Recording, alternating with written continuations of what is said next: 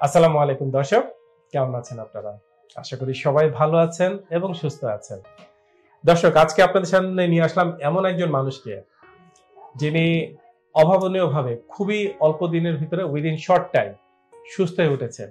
শুনবেন কি রোগ নিয়ে? স্ট্রোক করেছিলেন আমাদের এই ভাই। এবং স্ট্রোক করার পরে ওনার এক পাশ কিছুটা অবশ হয়ে গিয়েছিল এবং স্ট্রোক করার পর একটা মানুষের মানসিক অবস্থা কি হয় বা তার পরিবারের মানসিক অবস্থা কি হয় সেটা আমরা সকলেই জানি এবং বুঝি। আসুন দর্শক আপনাদের সাথে সেই পরিচয় করে দিব আমাদের এই ভাইটির সাথে। কীভাবে হয়েছিল এবং কিভাবেই এত তাড়াতাড়ি উনি সাফল্য পেয়েছেন পুরো বিষয়টা আমরা একটু ওনার কাছ থেকে শুনব। তার আগে আমার এই ভাইটির সাথে আমরা পরিচিত হব। আসুন দর্শক কথা বলি। আসসালামু আলাইকুম। ওয়ালাইকুম আসসালাম। স্যার আপনার নাম এবং পরিচয়টা? আমার নাম মোহাম্মদ মিলন। আমি সৌদি সৌদি আরবে থাকি। আচ্ছা। বাংলাদেশে কোথায় স্যার? দেশে বাড়ি বাংলাদেশে চাঁদপুর আমার বাড়ি। চাঁদপুর কোথায়? চাঁদপুর নানুপুর। আচ্ছা। তো প্রবাসে থাকেন সৌদি আরব? কোথায় থাকেন স্যার? সৌদি আরব রিয়াদে থাকি। কত বছর হবে এখানে? ওখানে আমি দুই বছর থাকি। এই বাংলাদেশ থেকে গেছি তিন মাস হয়েছি। আচ্ছা। ছুটিতে এসে তিন মাস হয়েছে গেছি। তিন মাসের মধ্যে আমি গত মাসের একুশ তারিখে স্টপ করি। কি হয়েছিল ওই দিনটায়? ওই দিন আমি ঘুমের মধ্যে স্টপ করি আর কি। আচ্ছা মানে কাজ শেষ করে বাসায় গিয়েছেন ঘুমিয়েছেন? ঘুমিয়েছি সকালে উঠছি উঠে দেখি আমি হাঁটতে পারি না আমাতে আমি পড়ে যাই এরকম লাগে। মানে ঘুমের ভিতর আপনি বুঝতে পারেননি। সকালে যখন উঠে আপনি হাঁটতে গিয়েছেন দেখছেন হাঁটতে পারছেন না। পারতেছি না জি। তখন ইমিডিয়েট হসপিটালে চলে হসপিটালে গেছি তখন ওনারা দেখে বলছে যে স্টপ হয়েছে আচ্ছা। তারপর ওখানে ভর্তি ছিলাম চার পাঁচ দিন ওখানে থেকে ট্রিটমেন্ট করছি। পরে ওখানে তো একশো ই নাই থেরাপি নেই। তো ওনাদের ওই ডাক্তাররা বলছে যে তোমার থেরাপি নিতে হবে দ্রুত সুস্থ হয়ে যাবে।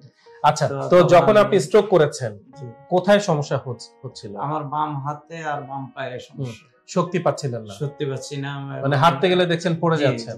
পড়ে যাই আর হাতও পুরা আলগাইতে পারি না অনেক ওজন ভার হয়ে যেত ওই সময় মানসিক অবস্থাটা কি ছিল?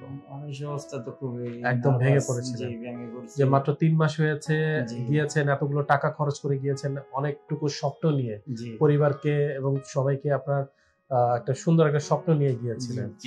পরিবারকে যখন জানিয়েছিলেন আমি তো জানাই না জানাইছে আমার আত্মীয় ছিল তারা জানাইছে। তারা দেখাশোনা করছে তারপর তাদের মাধ্যমে আমি বলছি যে আমি বাংলাদেশে যাব। তারপর আমার সবকিছু প্রসেসিং করে বাংলাদেশে পাঠাইছে। মানে হঠাৎ করে মনে হলো যে এক মুহূর্তের ভিতর মাথায় আকাশ ভেঙে পড়েছে। অন্ধকার দেখতে শুরু করলেন যে কি করবেন। তো দেশে যখন চলে আসলেন জি। গত তিন মাসে যেটা বলেছেন তো এর ভিতরে আপনার হচ্ছে যে কি কি চিকিৎসা করেছিলেন দেশে আসার পরে? দেশে আসার পর আমি কোথাও চিকিৎসা করি নাই। আমার ইউটিউবে দেখাইছে আপনাদের এখানে এক দুবাই প্রবাসী এখান থেকে ট্রিটমেন্ট হয়ে ভালো হয়েছে সেম আমার মতোই উনিও স্টপ করছে। আচ্ছা। ওটা দেখে আমি খুব আকৃষ্ট হয়েছি। আমি বলছি যে আমি আর কোথাও যাব না আমি এখানে এই হসপিটালে ভর্তি হব। সরাসরি চলে আসেন আমি এখানে চলে আসছি। প্রথম দিন যখন স্যারের কাছে যান জি। স্যার আপনাকে দেখেছিলেন দেখে কি বলেছেন? স্যার যখন দেখছে দেখে আমার বলছে যে কয় আল্লাহ রহমত আপনার আমরা ইনশাল্লাহ পনেরো দিনের মধ্যে সুস্থ করে বলব তবে সর্বোচ্চ মাসখানিক থাকতে হবে। তো আচ্ছা, আমার তখনই মনে অনেক সাহস হয়েছে। একটা ভরসা চলে আসলো। আমার একটা ভরসা চলে আসছে। তখনই আমি সাথে সাথে এখানে ভর্তি হয়ে গেছি। আলহামদুলিল্লাহ। জি। তারপরে কি হলো বলেন? চিকিৎসা শুরু হয়ে গেল। যে ট্রিটমেন্ট চলতেছে খুবই ভালো। আমি প্রতিদিনই আপডেট আমার ভালো উন্নতির দিকে দেখতেছি। এখন তো আমি আল্লাহর রহমতে নামাজ পড়তে পারি। দাঁড়ায় আগে তো আমি দাঁড়াইতে পারতাম না। আর এখন সেখানে দাঁড়িয়ে নামাজ পড়তে পারছেন। নামাজ পড়তে পারি। ইজিভাবে কোনো সমস্যা না। এবং সিঁড়ি দিয়ে আমি উঠতে পারি নামতে পারি। বিল্ডিং এ আমি দৌড়াদৌড়ি করি সাইকেল চালাই এক্সারসাইজে দৌড়াদৌড়ি করি কোনো সমস্যা মানে কিছুদিন আগেও যেটা আপনার কাছে দুঃস্বপ্ন ছিল জি। সেটাই এখন আপনার কাছে বাস্তব। বাস্তব জি। এবং নতুন করে হসপিটালে বলছি যে ওয়াশরুমে যাব আমার দুইজনে ধরিয়া পরে ওয়াশরুমে নিছে আমি হাঁটতে পারতাম না ওয়াশরুমে যেতে পারতাম না। আর সেই মানুষ এখন একাই সব কাজ আমি একা সব করতে পারতেছি। স্যার আপনার কাছে আসব। আমরা তার আগে আপনার মিসেস এর কাছে একটু যাব। আসসালামু আলাইকুম। ম্যাম আমরা একটু জানতে চাইব যখন প্রথম শুনতে পান ওনার সেই দুঃসংবাদটা কেমন লেগেছিল ওই সময়? তখন তো আমার আকাশ পাতাল একবারে হয়ে গেছে। কোনো আমার কোনো কিছু করার মতো ছিল না আমার কোনো সাহসই ছিল না কি করব?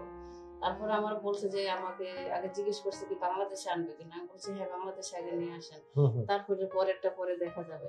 মানে উনি হচ্ছেন আপনার পরিবারের সবচেয়ে উপার্জনক্ষম উপার্জন ব্যক্তি। সেই মানুষটা যদি এমন হয় সংসার কীভাবে চলবে বাচ্চা পুরো পরিবার। আমার হাজবেন্ড এর উপরে সবারই ভরসা। এখন আমার হাজবেন্ড যদি এমন হয়ে যায় তাহলে আমার ওখানে থাকলে তো কোনো উপকার আসতেছে না। বলতেছে মনে সাহস আছে যে আমি বাংলাদেশে গেলে সুস্থ হব পরিবারের কাছে থাকলে আমি ভালো হয়ে যাব তাড়াতাড়ি। এই জন্য আমি বলছি বাংলাদেশে নিয়ে আসো তারপরে পরেরটা করে আহ, এই যে স্যারের কাছে নিয়ে আসা ডিপিআরসি হসপিটালে কীভাবে জানলেন প্রথমে? আমি আগে ইউটিউবে সার্চ দিয়েছি। সার্চ দেওয়ার পরে পরে দেখছি এখানে ডিপিআরসি হসপিটাল শহীদুল্লাহ প্রধান স্যারের ইয়েটা দেখে তারপরে আমি ভিডিও দেখে এখানে আমি বলছি ওনারা দেখাইছি পরে বলছে যে আচ্ছা ঠিক আছে এখানে যাব। আমি এখানে ফোন দিছি ফোন দেওয়ার পরে আচ্ছা আপনারা আসেন সমস্যা নেই।